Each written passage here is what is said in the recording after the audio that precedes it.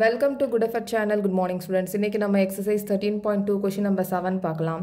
The inner diameter of a circular well is three point five metre it is ten metre deep find its inner curved surface area the cost of plastering this curved surface at the rate of rupees forty per metre square இப்போ இங்கே ஒரு well கொடுத்துருக்காங்க. இதில் வந்து inner ட inner circular டயாமீட்டர்னு சொல்லியிருக்காங்க. Inner circular diameter அப்படின்னா இந்த சின்ன சர்க்கிளோட டயாமீட்டர் கொடுத்துருக்காங்க. அதுக்கப்புறமா இங்கே டீப் அப்படின்னு சொல்லியிருக்காங்க. ஓகே இதில் டென் மீட்டர் டீப் டீப் அப்படின்னு சொன்னால் இந்த வெல்லோட ஹைட்டு ஓகே இந்த வெல்லோட ஹைட்டு ஓகே ஸோ இங்கே உள்ளே இருக்கிற டீப் அப்படின்னா உள்ளே இருக்கிற இந்த இன்னர் கர்வ்டு சர்ஃபேஸ் இருக்குல்ல இந்த உள்ளே இருக்கிற இந்த டீப் இந்த வெல்லோட டீப் அப்போ height okay so find its inner curved surface area inner curved surface ஏரியாவை நம்ம கண்டுபிடிக்கணும்.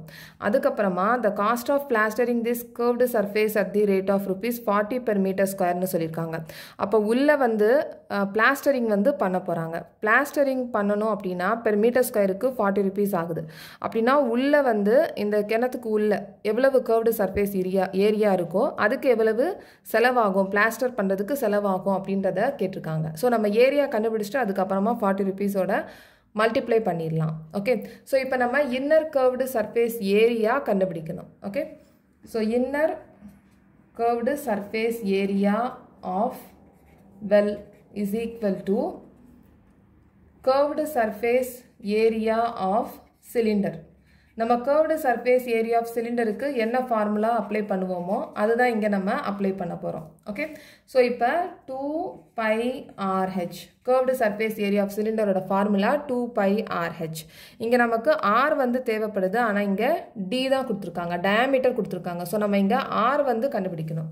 Okay so R is equal to diameter by two okay so இங்கே டயாமீட்டர் வந்து டெசிமலில் இருக்குது three point five divided by two இந்த point ஃபைவை நம்ம எடுக்கணும் அப்படின்னா நம்ம கீழே டென் டென்னால் டிவைட் பண்ணணும். ஸோ இங்கே நம்ம டென் போட்டுக்கலாம். ஓகே ஸோ இப்போ வந்து தேர்ட்டி ஃபைவ் இந்த பாயிண்ட் வந்து இருக்காது அப்போனா. ஓகே ஸோ அப்போ thirty five by two into டென்னாக இருக்கும்.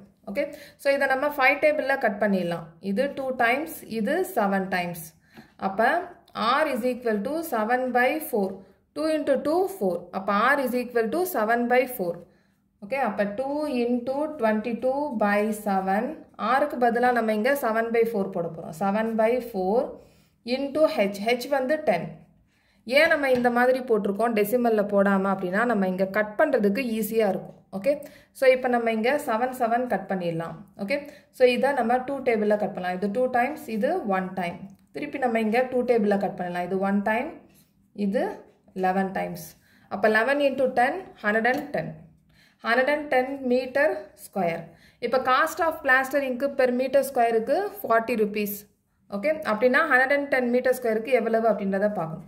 So cost of plastering